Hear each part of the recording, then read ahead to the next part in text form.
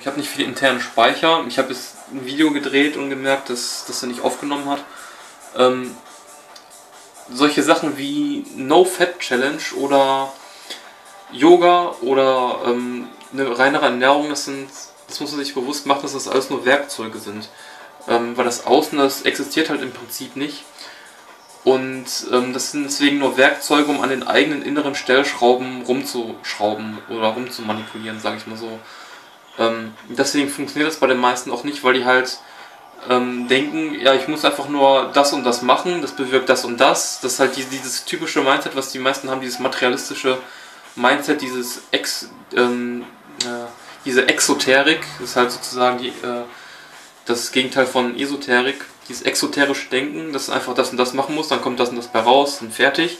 Deswegen funktioniert das bei den, bei den meisten nicht, auch, auch eine reine Ernährung vielleicht nicht. Oder halt funktioniert zumindest dann nicht optimal, weil die dann halt dieses Werkzeug nehmen und ähm, dann halt nicht an der richtigen Stelle ansetzen und zwar bei den eigenen Stellschrauben, sondern einfach denken, ja, ich brauche nur das Werkzeug, das Materialistische, jetzt habe ich dieses Material und damit hat sich dann alles. Dann kloppen die halt irgendwo sinnlos mit dem Hammer auf dem Boden rum mit diesem Werkzeug sozusagen und es passiert aber nichts. Oder man setzt das Werkzeug doch an der richtigen Schraube an, aber halt äh, nicht optimal, weil man, ähm, weil man nicht so, so ein Bewusstsein hat, weil man die Dinge noch nicht so klar sieht und deswegen halt die Schraube nicht ganz sieht, wo die jetzt ist oder ob das die richtige Schraube ist, sondern die ganze Zeit Energie reinsteckt und schraubt und schraubt und schraubt, aber es kommt nicht sehr viel bei rum oder halt nicht optimal. Und das ist halt die Sache, dass man halt nicht sieht, dass das nur Werkzeuge sind für einen selber. Im Prinzip braucht man diese ganzen Werkzeuge auch überhaupt nicht. Man braucht keinen Sport, kein Yoga und keinen Hass nicht gesehen, keine frutarische Ernährung, keine Lichtnahrung, irgendwas. Ähm, wenn man die Dinge ähm, einfach loslässt. Ähm, also man, man schraubt da an inneren Schrauben rum, man, man schraubt sich die Schrauben locker, ähm, damit die Dinge halt besser fließen und damit man es einfacher hat, dadurch wird es einfacher. Und das heißt, wenn man eine Schraube locker hat, dann ist man eigentlich schon sehr weit, äh, weil das ist halt der Weg. Aber wenn man diese ganzen Schrauben und Blockaden, das alles loslässt und rauslässt, dann ist da gar, gar nichts mehr da, da hat man das Ziel quasi schon erreicht. Und das ist die effektivere Methode und dadurch braucht man auch diese ganzen Werkzeuge nicht. Und deswegen ist mein Lieblingswerkzeug eigentlich die Meditation, weil es halt ein sehr feines Werkzeug schon ist, ähm, ohne größere Umwege, wo man dann noch viel Energie bei reinstecken müsste. Und ja, das, das ist dann umso einfacher, sage ich mal. Das ist dann halt so meine Lieblingsmethode. Aber es kann halt alles funktionieren, man sollte sich nur bewusst sein, dass es halt wirklich Werkzeuge sind. Ach ja, was natürlich auch noch sehr wichtig wäre dabei zu wissen, wie man, ähm, ja, wie man dann halt richtig ansetzt mit diesen Werkzeugen ähm, und wie man die halt richtig verwendet. Das ist natürlich dann das Essentielle, was auch noch wichtig wäre zu erwähnen.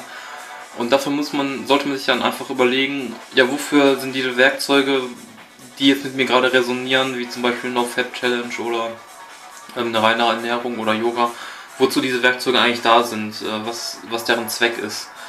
Das ist natürlich wichtig zu wissen. Und ähm, zum Beispiel ist der Zweck dann von Yoga, sich halt innerlich freier zu machen. Ähm, dass man, also durch, durch diese Dehnung zum Beispiel, da muss man ja sehr, ähm, ja, sehr, sehr freien Körper haben, um das einfach zu schaffen, zumindest auf Dauer zu schaffen, diese, diese Dehnung hervorzubringen. Und da verändert sich dann halt im Geist diese Stellschraube, dass, dass man freier wird und dadurch halt die Lebensenergie besser fließen kann. Und bei der No Fab Challenge ist es vielleicht ein bisschen schwieriger zu verstehen.